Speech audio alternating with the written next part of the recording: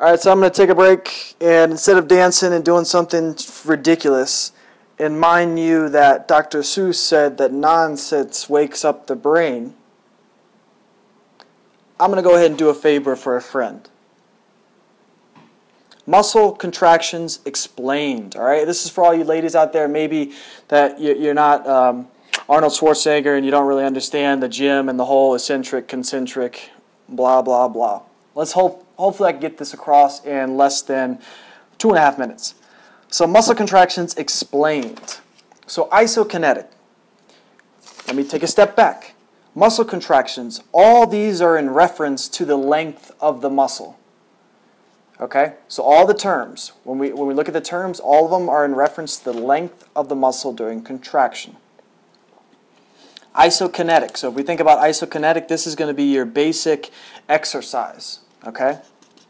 Your basic exercise. So we can use, you know, the biceps as just the fundamental exercise one, right? That's just you moving, right? The same movement. Kinetic being Latin for movement. Now within isokinetic, you have concentric and you have eccentric. So concentric like I said before, I love splitting up the word because the word is telling it telling us what it means. Center, cone.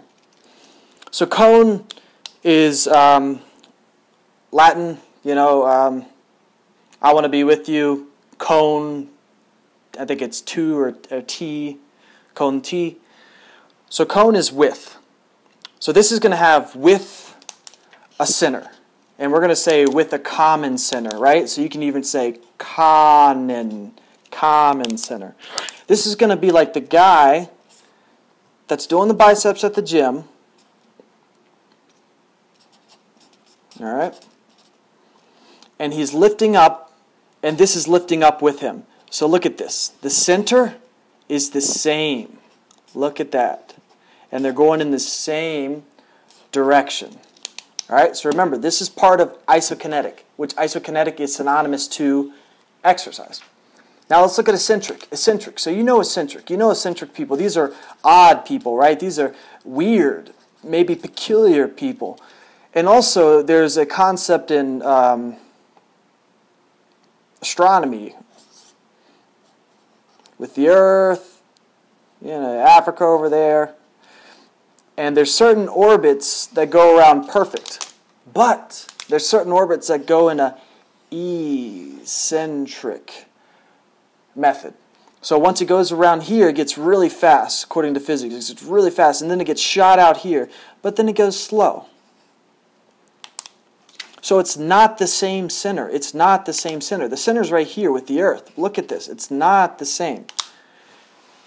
So eccentric, it's like it's an odd person. He's not a normal person. And this is going to be slowing the object down. And so that's just like this guy again. But instead of the arrows going like this now, the arrows are going to be opposite. So he's going to be letting that dumbbell go down. And as he lets it go down, the center, remember the center for the, the concentric, right? The common center? Look at that. That's a perfect circle this guy, between this guy and this guy, that center is weird. It starts to get weird, okay? So maybe it looks something like this, right? And um, let's skip to isolytic, because isolytic is kind of like um, eccentric. So this guy, he's letting the dumbbell down, and what is he doing? He is iso, he is lysing his muscle. So his muscle is lengthening as it goes down. So a good isolytic bicep um, person at the gym is going to let their muscles go down super slow. They're not going to just let the, drape, the, the weight drop on the floor. That's not good form. Go down super slow. And if you go down um, slow at a constant rate, that's known as isotonic. So tonic is going to be like tone, right? Muscle tone. The tone's going to be the same. So as you go from, you know, having the bicep, the curl here, and then all of a sudden, then you take it down here, you're going down at the same the same amount of time. Okay? And lastly, where is this guy? Lastly, isometric, right? So isometric. So metric is what? Metric is like a metric ruler. Or, uh, yeah, metric ruler. So it's the same measurement. So this is like this is like you having a weight or having a hand out here, right? But there's no weight there. What's pushing down? Gravity. And you know what's constantly happening? Isometric. You're constantly at the same, or we could even, um, we could do a blank screen, or whatever this is. And we could draw a wall, right? Draw a wall. Let's get some bricks in it. You know, I could put some colors in here. But this is like a guy standing against a wall and pushing with all his might, right? He's, maybe he's got a hat on, right? Maybe he's got a, a badge or something like that. He's the pusher or something. Ah, that doesn't matter. But he's pushing on this wall and he's pushing, but nothing's happening, right? The wall's not moving. So what is it? Isometric. So if we can go through these a couple times, um, isometric, I mean isokinetic, that's just exercise in general. Cone centric, think about common center, remember? They're going up at the same time, so they're going to have the same center, cone centric. Eccentric, what is that talking about? Remember the that certain orbit. The certain orbit is a bit strange, right? Odd, peculiar. And as you go um, as you let the muscle, as the muscle pulls up, you're going to be letting it go down, and that's going to create this eccentric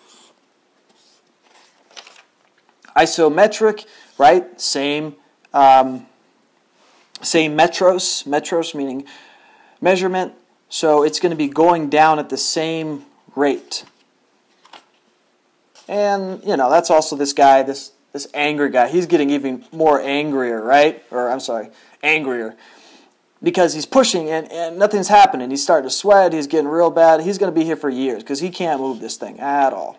Isometric, we talked about that. Isolytic, what are you doing? You're breaking. So that's somebody with the dumbbell and they're letting it go down and you're breaking Lytic, you're breaking the muscle. Isotonic tone. You've got the same tone. You've got the same, we could even say tone or time, right? It takes you the same amount of time. You're not going, whoo, whoo, right? And, ah. Uh, no, you're going boom, boom, boom, and letting it go down very nice and slow. And that guy's very angry. And that is all. So if you like some of this stuff, you know, give me a thumbs up. Don't give me a thumbs down because um, I really don't know what that means. That's not even a thumb. Maybe because I can't draw well or I don't know, I don't speak well or something like that. But a thumbs down is no good. Why? Because it doesn't tell me what I'm doing wrong or what I'm doing right. It just it just says you looked at it and you go, oh well this guy's drawing right. It's a bit weird or something like that. You know something like this or or whatever. But let me know in the comments what you think, because that lets me know, that, let me, that lets me put out better material for you in the end. But anyways, this has been a muscle contraction explained from my good friend, Patty Pat.